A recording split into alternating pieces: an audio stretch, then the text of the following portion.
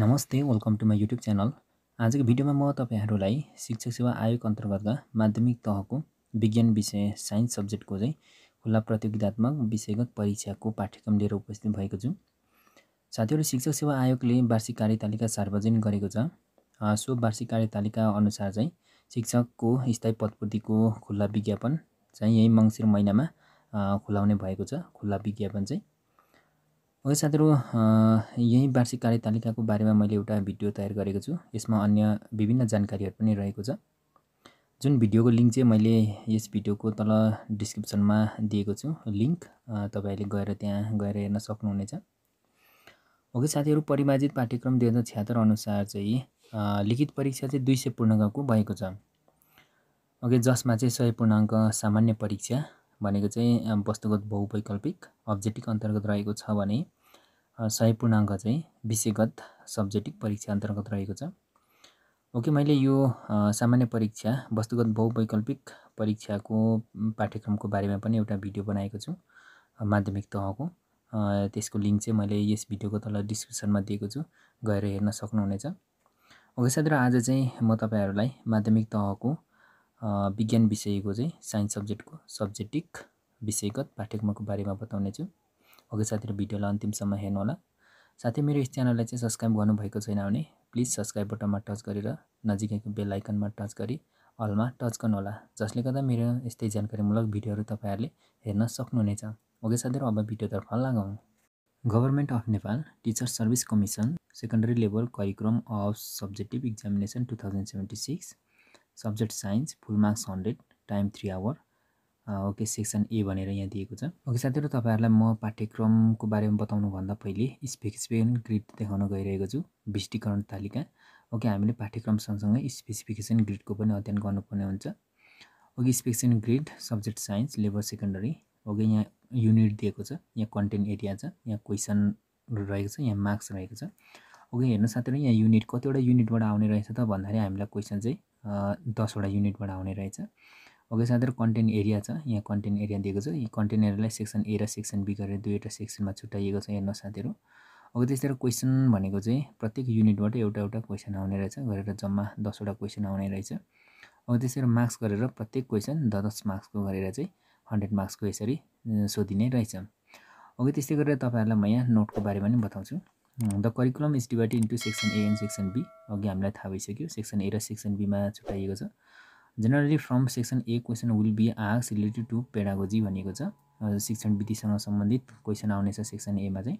From section B question will be arcs covering cognitive levels भनेको छ संज्ञानात्मक तहबाट सोधिनेछ सेक्सन बीमा चाहिँ भनेको छ। Separate answer sheet will be use for each section भनेको प्रत्येक सेक्सनमा हामीले फरक फरक एन्सर सिट प्रयोग गर्नुपर्ने हुन्छ। The medium of language in written test will be either Nepali or English or both भने चाहिँ हामीले नेपाली अथवा इङ्ग्लिस अथवा नेपाली इङ्ग्लिस दुवै भाषाबाट पनि लेख्न सक्छौँ। Okay the curriculum will be effected from two thousand seventy six eleven thirty भनेको छ। ओके साथीहरू म तपाईँहरूलाई अब पाठ्यक्रमको बारेमा चाहिँ सरस्वती बताउने छु। ओके ल हेर्नु साथीहरू पाठ्यक्रम यस्तो रहेको छ। युनिट वान रहेको छ टिचिङ फिजिक्स रहेको छ। ओके यस अन्तर्गत हामीले पढ्नुपर्ने कुराहरू के के रहेको छ त यहाँ सम्पूर्ण कुराहरू यहाँ दिएको छ। तपाईँहरूले भिडियोलाई रोकेर हेर्नुहोला। ओके त्यसैले यहाँ सब युनिटहरू one two three four five गरेर दिएको छ साथीहरू। ओके तपाईँहरूले भिडियोलाई रोकेर हेर्न सक्नुहुनेछ। नोट गर्न सक्नुहुनेछ ओके त्यस्तै गरेर युनिट टू अन्तर्गत चाहिँ टिचिङ जियोलोजी एन्ड एस्ट्रोनोमी रहेको छ। यस अन्तर्गत हामीले अध्ययन गर्नुपर्ने कुराहरू यहाँ दिएको छ। तपाईँहरूले हेर्नुहोला। ओके त्यस्तै गरेर युनिट थ्री अन्तर्गत चाहिँ टिचिङ केमिस्ट्री रहेको छ। टिचिङ केमिस्ट्री अन्तर्गत one two three four five गरेर फाइभ सिक्स गरेर चाहिँ सिक्सवटा चाहिँ सब युनिटहरू दिएको छ। ओके साथीहरू भिडियोलाई तपाईँहरूले पज गरेर रोकेर नोट गर्नुहोला। हेर्न सक्नुहुनेछ। ओके त्यस्तै गरेर युनिट फोर अन्तर्गत चाहिँ टिचिङ बायोलोजी रहेको छ। टिचिङ बायोलोजी अन्तर्गत पनि one two three four five okay पाँचवटा चाहिँ सब युनिटहरू अन्य दिएको छ हामीले यो युनिटहरूलाई चाहिँ अध्ययन गर्नुपर्ने हुन्छ। ओके त्यस्तै गरेर युनिट फाइभ अन्तर्गत चाहिँ overview of science curriculum of secondary level रहेको छ। यस अन्तर्गत one two three four five पाँचवटा युनिटहरू छ। यी युनिटहरू चाहिँ हामीले हेर्नुपर्ने हुन्छ। भिडियोलाई रोकेर हेर्नु होला साथीहरू। ओके त्यति गरी सेक्सन बी अन्तर्गत चाहिँ युनिट सिक्स रहेको छ प्रोपर्टिज अफ म्याटर रहेको छ। प्रोपर्टिज अफ म्याटर अन्तर्गत चाहिँ पढ्नुपर्ने कुराहरू यिनै रहेको छ। भिडियोलाई रोकेर हेर्नु होला साथीहरू। ओके त्यस्तै गरेर युनिट सेभेन अन्तर्गत रहेको छ। अप्टिक्स इलेक्ट्रिसिटी एन्ड म्याग्नेटिजम रहेको छ। यस अन्तर्गत पढ्नुपर्ने कुराहरू यहाँ एक दुईवटा यहाँ दिएको रहेछ। ओके त्यसपछिबाट यहाँ तल तिनवटा चारवटा दिएको छ। ओके साथीहरू। तपाईँहरूले भिडियोलाई रोकेर हेर्न सक्नुहुनेछ। ओके त्यस्तै गरेर युनिट एट अन्तर्गत फन्डामेन्टल अफ केमिस्ट्री दिएको छ। ओके साथीहरू fundamental of chemistry unit eight eight अन्तर्गत चाहिँ पढ्नुपर्ने कुराहरू यिनै रहेको छ। तपाईँहरूले भिडियोलाई रोकेर हेर्न सक्नुहुनेछ।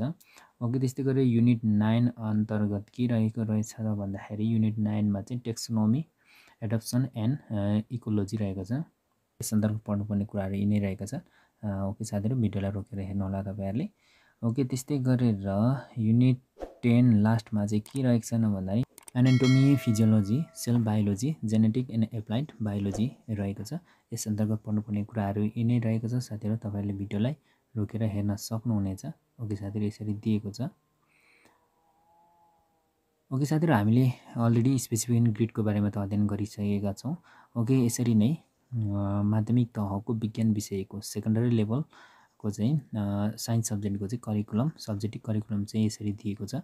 ओके साथीहरू तपाईँहरू यस्तै जानकारीमूलक भिडियोहरू हेर्न चाहनुहुन्छ भने मेरो यस च्यानललाई चाहिँ सब्सक्राइब गर्न नभुल्नुहोला। Okay thank you for watching my video